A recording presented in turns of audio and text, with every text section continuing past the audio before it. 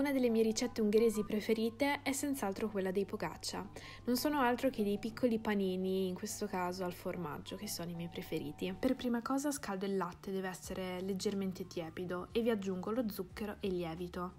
Lascio riposare e nel frattempo lavoro la farina con il burro che deve essere abbastanza freddo e va sbriciolato nella farina fino ad ottenere come della sabbia bagnata, è quella più o meno la consistenza.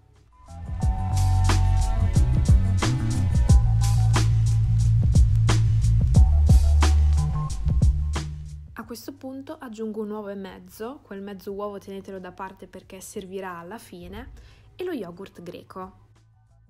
Non credo di averlo ancora accennato in questo video, ma questa ricetta è la mia personalissima, che è una fusione fra la ricetta di mia nonna e quella di mia madre, più qualche piccola inventiva della sottoscritta, come ad esempio lo yogurt greco. L'impasto ora dovrà lievitare circa un'oretta. Io di solito lascio l'impasto coperto con la pellicola nel forno con la luce accesa. Mentre l'impasto lievita mi occupo di grattugiare il formaggio, che servirà sia nell'impasto che come decorazione esterna. Dopo aver aggiunto parte del formaggio all'impasto, lo stendo e inizio a coppare i vari pogaccia. L'altezza va un po' a gusti, a me piacciono piuttosto alti, quindi non scendo mai sotto il centimetro. Prima di infornare spennello i pogaccia con l'uovo che è avanzato da prima e ci metto sopra un po' di formaggio. A questo punto sono pronti per essere infornati.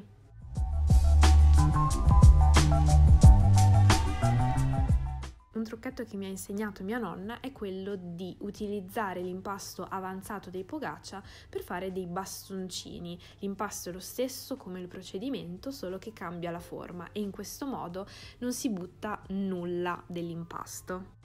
Ed eccoli qua, belli pronti. Esternamente sono croccanti mentre l'interno rimane leggermente umido. Io li adoro, spero possano piacere anche a voi. Sono veramente buoni sia col formaggio che con le patate. Se vi capita di andare in viaggio in Ungheria, provateli. Io spero che questa piccola ricetta vi sia piaciuta e noi ci vediamo presto con un nuovo video.